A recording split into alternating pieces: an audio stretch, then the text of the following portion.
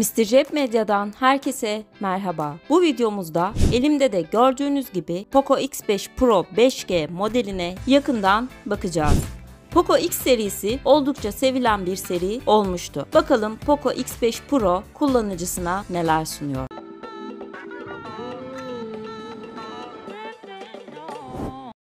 Siyah, mavi ve sarı renkten oluşan 3 farklı rengi var.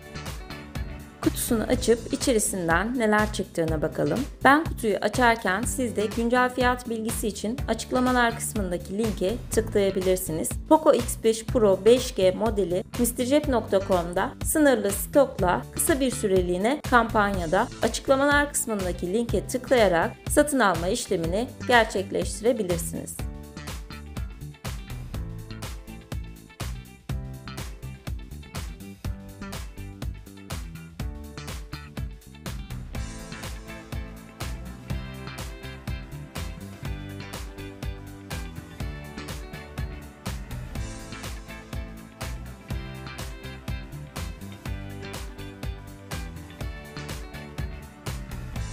Tasarım olarak diğer X modellerinden en hafif olanı bu diyebilirim. Güç butonunun üzerinde parmak okuyucu mevcut. Hızlı ve stabil çalışıyor. 7.9 milimlik kalınlığı bulunuyor. 181 gram ağırlığı mevcut. Alt tarafında bir adet ses çıkışı, Type-C girişi, çift sim kart kızağı ve mikrofon bulunuyor. 3.5 milimlik jack girişi, ses çıkışı, kızıl ötesi sensör ve bir tane de gürültü engelleyici mikrofon var. Telefonun hakkında kısmına giriyorum ve MIUI 14 arayüze sahip. 256 GB GB depolama alanı mevcut. 8 ya da 6 GB RAM seçeneği sunuyor. 6.67 inç Full HD Plus AMOLED ekrana sahip. Ekran yenileme hızı ise 120 Hz. Ekranda Corning Gorilla Glass 5'i görüyoruz. Poco mühendisleri ekran konusunda telefonun 100 farklı testten başarılı bir şekilde geçtiğini dile getiriyorlar. İşlemci olarak son dönemde popüler olan Qualcomm Snapdragon 778G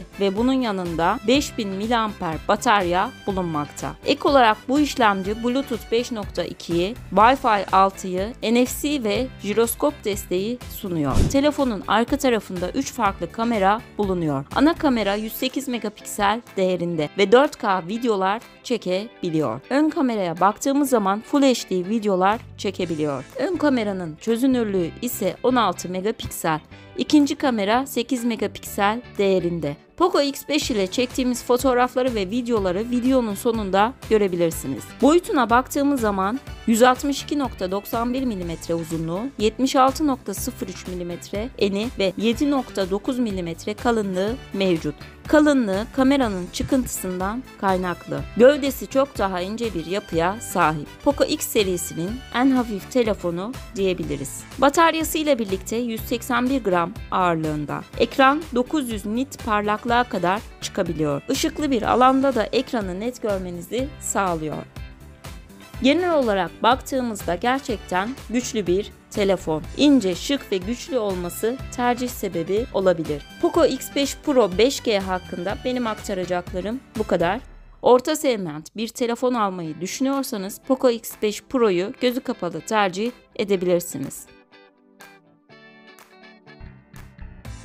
Fotoğraf çekimlerini gördünüz, performansını nasıl buldunuz?